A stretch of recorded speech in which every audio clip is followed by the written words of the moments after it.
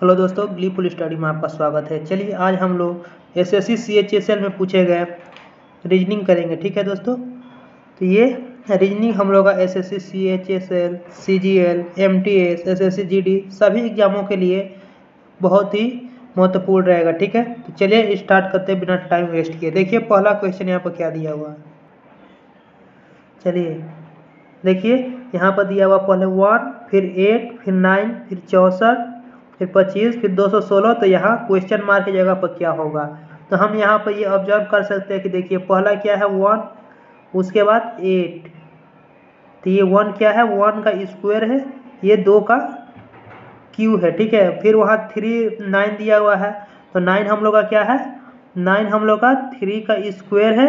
फिर दिया है सिक्सटी फोर तो सिक्सटी फोर क्या है?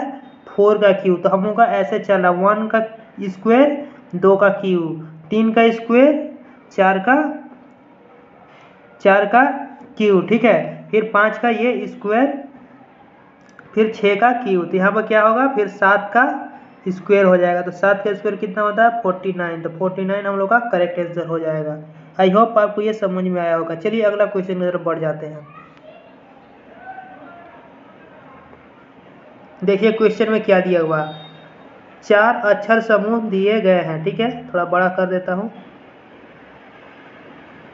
चार अक्षर समूह दिए गए हैं, जिनमें से तीन किसी न किसी तरह से संगत है और एक असंगत है, ठीक?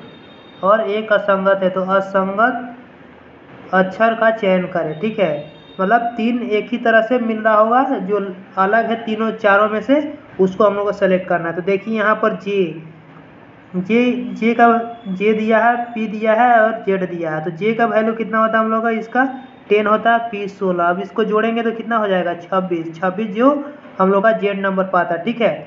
वैसे यहाँ पर देखिए, दो नंबर ऑप्शन एम दिया है एम क्यू एस एम का होता है तेरह क्यू का सत्रह। इसको जोड़ेंगे तो कितना आ रहा तीस। लेकिन हम लोग का उन्नीस यहाँ पर एस दिया है एस का वैल्यू होता है उन्नीस, ठीक?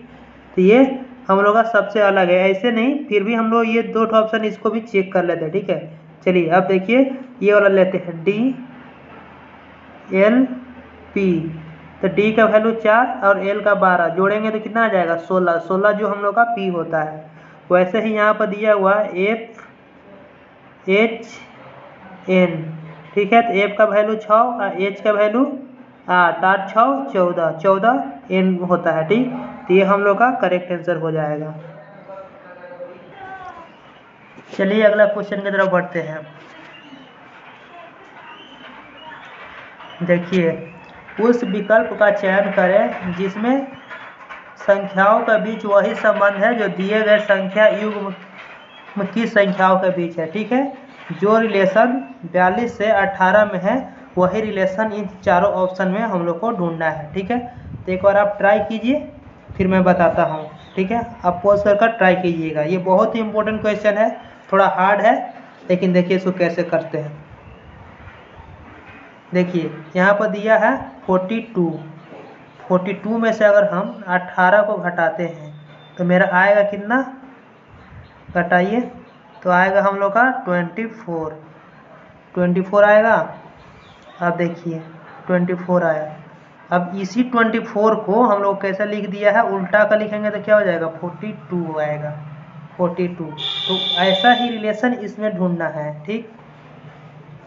तो देखिए, उन्नीस उन्नीस में से पाँच जाएगा तो कितना बचेगा?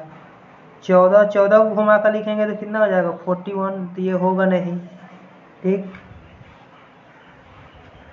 चलिए, अगला देखते हैं। फिर देखिए, दस। दस में से अगर नौ को घटाते हैं तो कितना आएगा हम लोग का? ज़ीरो एक का आएगा। तो इसको अगर हम उलट कर लिखें तो इसको दस लिख सकते हैं। हाँ तो लिख सकते हैं तो ये हम लोग का करेक्ट आंसर हो जाएगा। वैसे ही इसको चेक करते हैं। अगला थर्टी वन थर्टी वन में से उनतीस को हटाएँगे तो कितना बचेगा? दो। तो दो को ऐसे लिख सकते हैं। ज़ीरो टू, अगर इसको पलट कर लिखते हैं तो बीस बनेगा। ये भी नहीं है। फिर इसको भी चेक कर लीजिए seventy one minus forty five तो कितना आएगा? सेवेंटी वन में से फोर्टी फाइव को घटाएँगे। तो ग्यारह में से पाँच, या छः, ठीक? तो छः में से चार, या दो, छब्बीस। छब्बीस को पलट कर लिखेंगे तो सिक्सटी टू ये भी नहीं है तो करेक्ट आंसर ये भी है। दोस्तों, इसमें यही नहीं कि एक ही लॉजिक लग सकता है। मैं इस लॉजिक से गया हूँ, कोई और कोई और लॉजिक बता सकता है, ठीक है? जिसमें कोई बड़ी बात नहीं है, ठीक है? आप भी कोई लॉजिक दूसरा लगा सकते हैं, अगर पता चले तो ज़रूर कमेंट करके बताएँ। चलिए, अगला क्वेश्चन की तरफ़ बढ़ते हैं।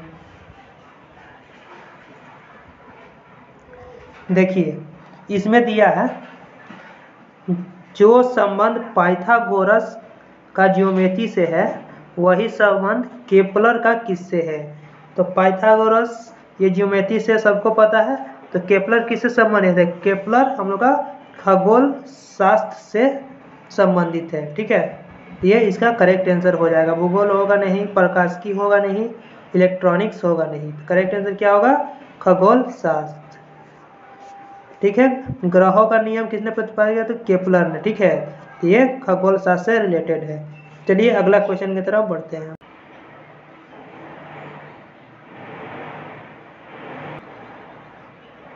देखिए, ये ब्लड रिलेशन का क्वेश्चन है। बी ए का इकलौता पुत्र है, ठीक है? तो बी किसका पुत्र है? ए का। तो ए यहाँ पर बनाते हैं। इसका पुत्र कौन है? बी है, ठीक है? तो इसको प्लस से डिनोट करते हैं। सी डी की माँ है। सी कौन है? डी की माँ। साइड में बनाते हैं। सी है वो, क्या है? माँ है डी की। किसका? डी का। ठीक? ए सी की माँ है, ठीक है? ए है जो ए सी की माँ है मतलब यहाँ पर सी होगा।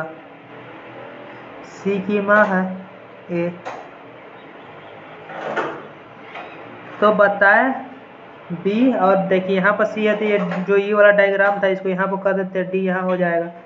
और चलिए तो बताए बी का डी से डी से क्या संबंध है अगर ये ये सी की माँ है तो ये क्या होगा? बी और सी क्या होगा? भाई बहन होगा।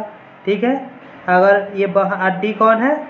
डी है सी के, सी का सी का बेटा है, ठीक है? बेटा या बेटी कुछ भी हो, यहाँ पर डिनोट नहीं किया, लेकिन यहाँ पर पूछा है, बी का डी से क्या रिलेशन है? तो ये इसका कौन हो जाएगा? मामा हो जाएगा, क्योंकि इसका सी का भाई है, ठीक है? बी तो क्या लगेगा? मामा, डी का मामा लगेगा तो मामा यहाँ पर करेक्ट आंसर हो जाएगा।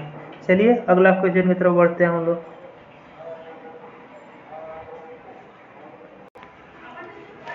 तो देखिए दोस्तों, बहुत ही अच्छा क्वेश्चन है। बस से यात्रा करते समय एक व्यक्ति ऑटो रिक्शा को किए गए भुगतान के 10 गुना से 60 अधिक खर्च करता है। उसके द्वारा खर्च की गई कुल राशि ऑटो रिक्शा के लिए भुगतान किए गए किराए की तेरह गुना है। तो बताए कि उसने बस और ऑटो पर कुल मिलाकर कितनी राशि खर्च की? तो चलिए करते हैं। देखिए क्या बोला? बस से यात्रा करते समय कि व्यक्ति ने ऑटो रिक्शा को किराए पर किए गए भुगतान से साठ अधिक करता तो ऑटो मतलब मान लीजिए ऑटो पर कितना किया? ऑटो पर मान लीजिए एक सौ रुपया कर रहा। तो बस पर कितना कर रहा? बस पर कर रहा। ऑटो रिक्शा के दस गुना से साठ रुपया अधिक। है ना प्लस साठ, ठीक? इतना बोला? अब देखिए दूसरा लाइन में क्या बोला? उसके द्वारा खर्च की गई कुल राशि, उसके द्वारा खर्च की गई कुल राशि ऑटो रिक्शा के भुगतान किए गए किराए की तेरह गुना है। तो कुल राशि इसको टोटल जोड़िए। कितना रुपया खर्चा किया ना? एक्स प्लस टेन एक्स मतलब ग्यारह एक्स प्लस साठ। ये उसके द्वारा कुल खर्च की गई भुगतान, ठीक है? ऑटो रिक्शा के लिए भुगतान किए गए का तेरह गुना है। तो ऑटो पर एक सौ रुपया था, इसका तेरह गुना के बराबर है ये वाला, ठीक है? ऑटो रिक्शा पर किए गए भुगतान का तेरह गुना है, ठीक? तब इसको सॉल्व कर दीजिए। यहाँ साठ, ठीक? इधर ग्यारह जाएगा तो क्या बचेगा? To x. तो एक्स से यहाँ टू से काटेंगे तो एक्स का वैल्यू कितना आ गया हम लोग का? तीस। तीस आ गया? अब पूछा यहाँ पर क्या? तो उसने बस तथा ऑटो पर कुल मिलाकर कितने खर्च किया? तो बस पर देखिए, यहाँ पर वैल्यू पुट कर दीजिए। बस पर यहाँ पर तीस किया। ऑटो पर सॉरी ऑटो पर। अब यहाँ पर इस पर बस में कितना किया? तो एक से वैल्यू बैठा दीजिए यहाँ पर। तो तीन सौ तीन सौ साठ। टोटल में जोड़ दीजिए, तीस प्लस तीन सौ साठ तो तीन सौ नब्बे हम लोग का करेक्ट आंसर हो जाएगा, जो ऑप्शन नंबर वन है। आई होप आपको ये समझ में आ गया होगा। ये हम लोग का रीजनिंग में पूछ दिया था, ठीक है दोस्तों? चलिए, अगला क्वेश्चन की तरफ़ हम लोग बढ़ते हैं। चलिए दोस्तों, अगला क्वेश्चन देखते हैं। देखिए, उस विकल्प का चयन करें जिसमें दी गई आकृति अंतर्निहित है, ठीक है? घुमाने की अनुमति नहीं है, जैसे है वैसे है। तो देखिए, हम लोगों पहले ऑप्शन देखिए तो ऑप्शन देखने से लगेगा कि आपका इसमें दो नंबर में होगा नहीं। एक नंबर तीन नंबर में तो हो ही नहीं सकता, चार नंबर में भी हो ही नहीं सकता, ठीक है? इसमें थोड़ा सा चांस है, लेकिन नहीं। तो हम लोग का फ़र्स्ट आकृति ही सही होगा। कैसे होगा? चलिए इसमें दिखते हैं कहाँ पर है। तो देखिए, यहाँ पर देखिए, ऐसे आए। ठीक, फिर ऐसे आएँगे, फिर ऐसे आएँगे, फिर ऐसे आएँगे, फिर ऐसे आएँगे, फिर ऐसे आएँगे। देखिए, ये वाला आकृति है तो हाँ यहाँ पर ये छुपी हुई है तो ये हम लोग का करेक्ट आंसर एक नंबर हो जाएगा। चलिए, अगला क्वेश्चन की तरफ़ बढ़ते हैं।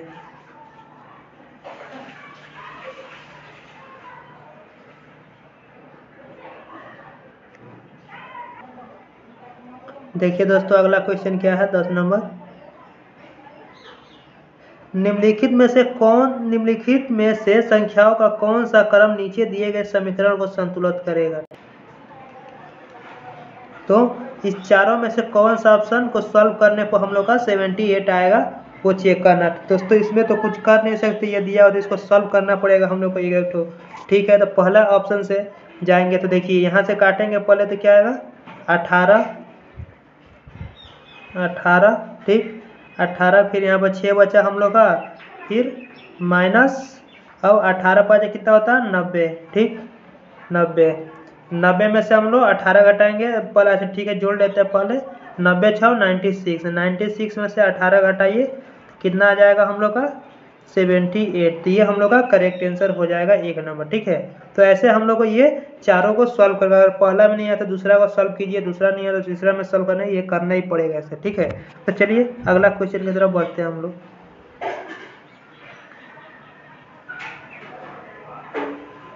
देखिए, क्या बोला है? नीचे दिए गए कथनों और निष्कर्षों को ध्यानपूर्वक पढ़ें। यह मानते हुए कि कथन में दी गई जानकारी सही है। भले ही यह समांतर रूप से ज्ञात तथ्यों से भिन्न प्रतीत हो। ठीक यह निर्धारित करें कि दिए गए निष्कर्षों में से कौन सा कथन तार्किक रूप से अनुसरण करता है। ठीक है तो ये कथन दिया है हम लोग का उसे निष्कर्ष निकालना है। ठीक है तो बोला है, कुछ लड़के हॉकी खेलते हैं। ठीक है तो यहाँ पर पहले चलिए बनाते हैं इसको। तो देखिए, पहला दिया हुआ है, कुछ लड़के हॉकी खेलते हैं, ठीक? कुछ लड़के हॉकी खेलते हैं। उसके बाद कुछ लड़कियाँ बैडमिंटन नहीं खेलती, ठीक? और फिर तीसरा में बोला है, प्रत्येक व्यक्ति या तो हॉकी खेलता है या बैडमिंटन खेलता है मतलब सब कुछ ना कुछ खेलते ही है, ये फिक्स है। तो देखिए, निष्कर्ष क्या दिया पहला, लड़के बैडमिंटन नहीं खेलते, देखिए, ये तो गलत हो जाएगा। क्योंकि यहाँ पर बोल रहा प्रत्येक व्यक्ति या तो हॉकी खेलता है या बैडमिंटन। उसमें से कुछ लड़के हॉकी खेलते हैं, पहला वाला में देखिए तो कुछ लड़के क्या खेलते होंगे? बैडमिंटन खेलते होंगे, ठीक? तो ये तो गलत है तो पहला ये वाला गलत हो जाएगा, ठीक? अब देखिए, कुछ लड़कियाँ हॉकी खेलती है, ठीक? कुछ लड़कियाँ बैडमिंटन नहीं खेलती। अगर कुछ लड़कियाँ बैडमिंटन नहीं खेलती तो कुछ लड़कियाँ जो बची होंगी, वो क्या खेल रही होंगी? वो हॉकी खेलने होंगी, क्योंकि प्रत्येक व्यक्ति या तो हॉकी या बैडमिंटन खेलता है, ठीक? तो ये सही है। कुछ लड़कियाँ हॉकी खेल रही होगी तो ये दूसरा नंबर सही है एकदम। फिर देखिए, तीसरा क्या बोला है? कोई भी ऐसा नहीं है जो हॉकी और बैडमिंटन दोनों खेलता है, ठीक? तो ये भी बात सही है, क्योंकि दोनों कोई नहीं खेलता। प्रत्येक व्यक्ति या तो हॉकी खेलता है या बैडमिंटन। इसलिए ऑप्शन नंबर हमारा दो और थर्ड दो और तीन सही होगा, ठीक है? दो और तीन, ठीक है? क्योंकि लास्ट में बोला ही हुआ है हम लोग का कि प्रत्येक व्यक्ति या तो हॉकी खेलता है या बैडमिंटन ठीक? दोनों का किस, दोनों के बारे में कुछ बोला नहीं है, ठीक? इसलिए हम लोग का केवल दो एवं तीन सही होगा। चलिए, अगला क्वेश्चन की तरफ़ बढ़ते हैं।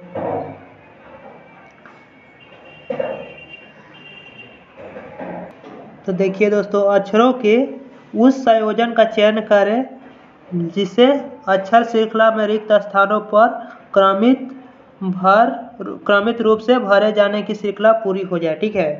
तो देखिए, इस टाइप के क्वेश्चन करने से पहले क्या करते हैं? पहले गिन लेते हैं हम लोग कि टोटल ये कितना है? यहाँ से आता है कितना संख्या, ठीक है?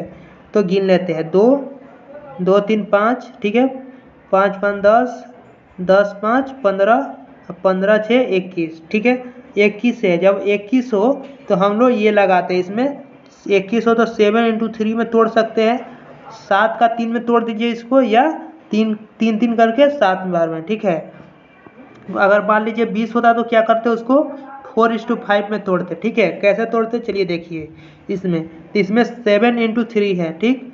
तो पहले सात में तोड़ते हैं, सात इंटू तीन में। तो देखिए यहाँ से एक तो लाइन टान देंगे। दो तो तीन, पाँच पाँच, दो, सात, ठीक है? फिर यहाँ से तीन तीन, छः, एक, सात। यहाँ पे एक लाइन टान हैं, फिर तीन तीन छः एक, सात बज गया, ठीक है? अब देखिए, इसको मिलाते हैं। देखिए, यहाँ पर ए बी ठीक है? तो यहाँ पर क्या, देखिए, यहाँ पर खाली है तो यहाँ पर क्या जाएगा? बी होगा। ठीक, इसके हिसाब से हम लोग देख कर इसमें भरें। फिर आगे देखिए बी के बाद क्या आना चाहिए? यहाँ पर तो कुछ है नहीं नहीं भर सकते। फिर इसमें देखिए थर्ड वाला देखिए ए है तो ये यहाँ पर ए आएगा। ठीक, इसमें भरे ए फिर यहाँ पर भी क्या आएगा? ए आएगा। ए, चलिए, फिर आगे देखते हैं। तो देखिए, ये वाला हम लोग का करीब भर गया है, ए, बी, ए। इसमें ए, बी, ए हो गया, फिर क्या आएगा? ए आएगा। तो यहाँ पर ए, फिर क्या बचा? बी। तो बी है, बी के बाद क्या आएगा? सी। तो इसमें देखिए, यहाँ पर सी है तो इसमें भी यहाँ पर सी हो गया। ठीक तो ये हम लोग का कंप्लीट हो गया। दो दो ठो से भी कर सकते या इसको भी भर सकते हैं। तो देखिए, इसमें भी भरते हैं। पहले क्या आएगा यहाँ पर? तो यहाँ पर आएगा ए फिर क्या है? बी है। अब इसमें देख कर भर सकते हैं। उसके बाद दो ठो ए ए, ठीक है? उसके बाद दो ठो ए के बाद सी। दो ठो ए के बाद सी था ना तो सी। हाँ देखिए, एक तो यहाँ पर हम लोग का छूट गया। सी जो होना चाहिए यहाँ पर, ठीक? तो यहाँ पर हम लोग का दो ठो ए के बाद सी, ठीक है? उसके बाद क्या आएगा? B, C. तो देखिए हम लोग का करेक्ट आंसर कौन सा? देखिए ए ए तो ए ए आया, फिर सी बी सी बी फिर ए सी ए सी उसके बाद ए डबल बी सी तो ये हम लोग का करेक्ट आंसर हो जाएगा। यहाँ पर या आप एलिमिनेशन मेथड भी लगाकर छाट सकते हैं इसको, ठीक है? तो चलिए अगला क्वेश्चन की तरफ़ बढ़ते हैं हम लोग।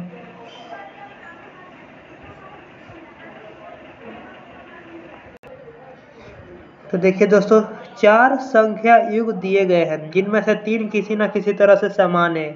एक असंगत है तो उस असंगत युग्म का चयन करें, ठीक है? तो चलिए, इसमें लगाइए, क्या लग सकता है? ठीक है लॉजिक तो देखिए, मेरे को तो एक चीज़ यहाँ पर दिख रहा, देखिए, कि सोलह, जब सोलह है, ठीक? सोलह को जब हम टू पॉइंट फाइव से गुणा कर रहे हैं तो सोलह दूना बत्तीस है, बत्तीस आठ चालीस हो जा रहा है, ठीक? इसमें। वैसे ही अगर हम अट्ठाईस को टू पॉइंट फाइव से गुणा करते हैं, टू पॉइंट फाइव तो अट्ठाईस दूना छप्पन छप्पन चौदह कितना हो जाएगा? सत्तर हो जा रहा, ठीक? अब देखिए, तीन सौ बत्तीस, तीन सौ बीस sorry into two point five करेंगे तो कितना हो जाएगा? तीन सौ बीस इंटू दो करेंगे तो छः सौ चालीस छः सौ चालीस और एक सौ साठ, कितना हो जाएगा? हम लोग का ज़ीरो, छः चार दस का ज़ीरो हासिल एक, सात एक का आठ सौ हो जा रहा, ठीक? आठ सौ हो जा रहा। है और इसको देखिए, चार नंबर ऑप्शन को देखिए, एक सौ बीस गुणे अढ़ाई किए टू पॉइंट फाइव तो कितना? दो सौ चालीस और दो सौ चालीस और साठ, तीन सौ, ठीक है? तो देखिए, ये तीनों हम लोग का करेक्ट आया। ये अढ़ाई गुना करने से सही आ रहा है, एकदम जितना दिया हुआ इतना, ठीक? लेकिन ये अलग आ रहा। है तो हम लोग का ऑप्शन नंबर थ्री करेक्ट होगा। ये चारों में कौन सा अलग है? तो ये 320 सौ बीस इस टू चार हम लोग का करेक्ट आंसर हो जाएगा। आई होप आपको समझ में आ गया होगा। चलिए अगला क्वेश्चन की तरफ़ बढ़ते हैं। देखिए, क्या दिया हुआ है? उस विकल्प का चयन करें जिसमें संख्याओं का आपस में वही संबंध है जो दिए गए समुच्चय की संख्याओं के मध्य है। जैसे तीन छ और तीस के बीच है, वही संबंध इसमें ढूंढना है। तो देखिए, इसमें क्या है? कैसे आ रहा? तो देखिए लगाते हैं पहले इसमें क्या लग रहा? तो देखिए, तीन का स्क्वायर जब करेंगे तो कितना आएगा हम लोग का? ठीक है, तीन का स्क्वायर करेंगे, उसमें से माइनस थ्री करने से क्या आ रहा? छः अब छः का स्क्वायर करेंगे उसमें से माइनस छः करते हैं। छः का स्क्वायर छत्तीस है, छत्तीस माइनस छः गया तो तीस। तो ये हम लोग का इसमें लॉजिक लग रहा है। ठीक? तो वैसे ही इसमें चारों में से हम लोग को बताना है कौन सा होगा। तो चलिए अब चारों को करते हैं उसी लॉजिक से। तो पाँच का स्क्वायर करते हैं पच्चीस। पच्चीस में से पाँच गया बीस। ठीक है? अब बीस का स्क्वायर करते हैं तो चार सौ। चार सौ में से बीस घटाएँगे तो तीन सौ अस्सी। हो रहा? नहीं आ रहा। ठीक है, छोड़ दीजिए। चलिए, अगला क्वेश्चन अगला ऑप्शन पर चलते हैं। तो अगला देखिए, चार का स्क्वायर कितना होगा? सोलह। ठीक है, इसमें से चार घटाएँ तो कितना आया? बारह। अब बारह का स्क्वायर करेंगे तो एक सौ चौवालीस। एक सौ चौवालीस में से बारह घटाएँगे तो कितना आएगा? एक सौ बत्तीस, जो कि जैसे ये था वैसे हम लोग का ये ऑप्शन नंबर टू मैच कराती है हम लोग का करेक्ट आंसर हो जाएगा। तो दोस्तों, आज के लिए हम लोग इतना ही रखते हैं। आई होप आपको ये समझ में आया होगा। अगर ये वीडियो समझ में आया तो प्लीज़ लाइक ज़रूर कीजिएगा। चलिए बाय